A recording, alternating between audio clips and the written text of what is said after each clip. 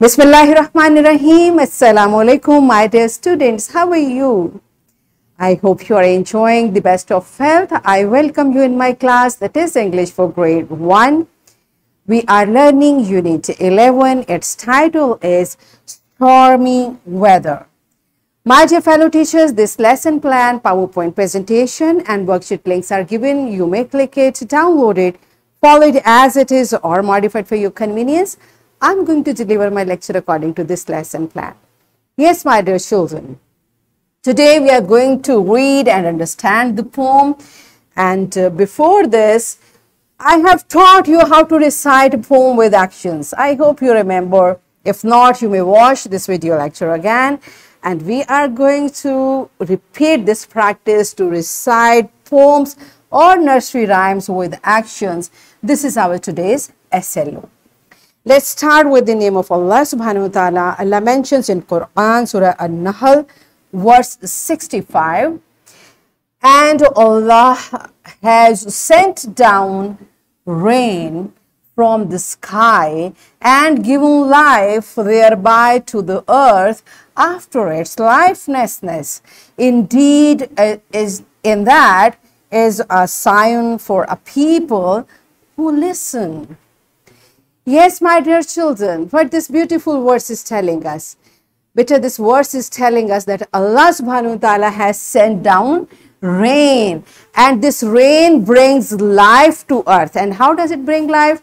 Like the plants grow and people take water and it keeps our water cycle and in many ways this rain is beneficent. So whenever it's raining, we should say thanks to Allah subhanahu wa ta'ala and we should enjoy the rain as well, right? So how do um, we can, how can we enjoy the rain? This is how, what we are going to learn in our today's lecture. So here is the poem. First, the uh, poet has described what does he do when it's raining. So we are going to recite this poem with action. We'll enjoy the poem. Then we'll understand what the poem is all about. So all of you place everything on your table. Be ready with me to recite this poem with actions. Okay, so are you ready? Okay. When I hear Peter pat against my window pane, I don't frown or mope about for I just love the rain. I rush to put my rain boots on, my spirit start to soar. I grab my red umbrella and go running out the door. I find a big great puddle and I jump in with a splatter. It's muddy and it's very wet. To me, it does not matter. Wow. You see, this is how the poet enjoy the rain. So better now you pause the video, enjoy this poem, reciting with actions and then come back. Yes, my dear children, are you done with it? Good job. I can see you are excited. Now, all of you sit down on your seats because we are going to understand what this poem is. All right? First, you tell me, do you like to play in the rain? And do you make paper boats when it rains? Pause the video, answer these questions to your teacher, and then come back. Yes, my dear children. Do you enjoy the rain? Yes, I know children love it. So, beta, I have taught you in our introduction lesson, whenever it, it's raining, you can enjoy it, but keep the safety rules in your mind okay? All right so let's see what the poet is saying. When i hear a peter pat and what is peter pat it is a continuous sound especially when it's raining how how does it sound? Tip tip tip tip or tuck tuck tuck such type of sounds are known as peter pat so when it rains and i hear this sound against my window pane. And why this sound come? Because the rain is falling on my window pane. Window pane means the glass which is fixed in your window. So when rain falls on that, there is a continuous sound of Peter Pat. I do not frown. And what does frown mean? To be angry. I don't angry. I don't feel angry. I don't make faces. I don't give expression of dislike or mop about or nor I start cleaning the rain. Okay, mop means to clean something. So usually when it's raining, people, the adults one, they take the mop and they start cleaning. But the poet is saying, I don't do that. Why? For I just love the rain. So instead of cleaning and frowning, I'm happy because I like rain. I love the rain. This is what poet is telling us. I rush to put my rain boots on. So what does he do first? He rush, he uh, go by running and put the rain boots, long, you know, rain boots, long boots, which are waterproof, like this, this girl is wearing, this child is wearing these shoes.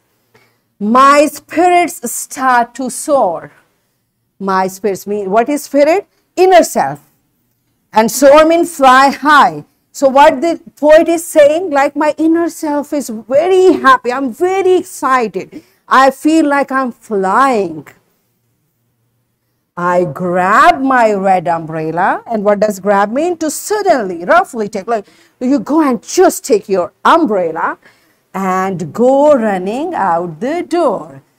So the poet has red umbrella like this kid has and you can see his rain boot as well. Okay. So he wears raincoat, rain boot, takes umbrella and what does he do? He goes running out the door. I find a great big puddle. What is puddle? A water. A, when water is gathered in, in um, hole in on ground, that is called a puddle. You can see in this picture, the puddle is there, okay? So whenever I find a puddle and I jump in with a splatter, the way this child is doing, uh, jump and the splash of water is there. So children love doing this. Do you do that? So better be careful whenever you do such type of things, okay? So this is what poet is saying. I do jump in with splatter. It's muddy, and what does muddy mean? Water which is uh, carrying soil, mud, it's muddy, which is not clean water. And it's very wet. Definitely it's water, so it's very wet.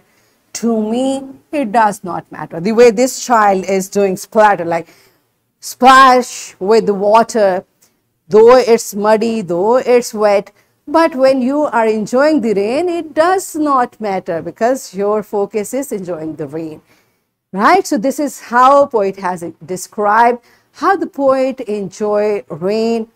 So this is all about this poem. Now we are going to do activity. Before that, you tell me which weather is your favorite weather. So altogether there are four. It's spring, then summer comes, falls come and winter. So which one is your favorite? Pause the video, answer this question to your teacher and then come back. Yes, my dear children, I hope you have answered it. All the weathers are good, Alhamdulillah, beta, because Allah has created every weather for a reason. Now you tell me, I mean, let's move on. And I have explained the uh, poem to you, and we have practiced reciting the poem with action. Now it's your turn. You will pause the video and recite this poem with actions, and teacher kindly let the students enjoy whatever they want to do let them do and make every child to participate in this activity. Pause the video, enjoy reciting this poem with action and then come back. Yes, my dear children, are you done with it? Good job. It's time for comprehension. Now we have understood the poem. Here are the questions from poem. First, you will tell the answers of these questions orally. Then you will write the answers in your notebook. So pause the video, complete this comprehension and then come back. Yes, my dear children, are you done with it? Good job, you are smart. It's time for your homework. Here are words. You are going to use these words in your sentences and you will write these sentences in your notebook. And I'm giving you a project. All the details are given in the book. You will Fold a large piece of construction paper in half to make a book cover. You will staple a stack of plain sheets into in the middle. You may use scissor in the supervision of your elders to cut out clouds, sun, raindrops and glue on the cover, draw snow and fog, whatever you want to do and then glue label as illustrated on the cover. This is a sample given to you. So, you will follow that and you will complete this project by this weekend. On coming Monday, you will bring this project in your class. All right. And here is a worksheet, my dear fellow teachers. This worksheet, lesson plan, PowerPoint presentation, links are given. You may click it, download it and kindly provide a printed worksheet to students for practice.